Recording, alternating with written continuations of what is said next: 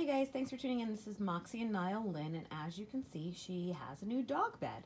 So I got this at the Marshalls, and it's called PAWSH, the Nap Mat Plus.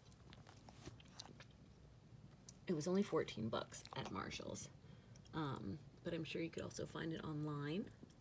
trying to get this label without glare for you and um, it unzips so you can wash it and take the stuffing out, which I really like too. But I also love the fact that it looks sort of like a little rug.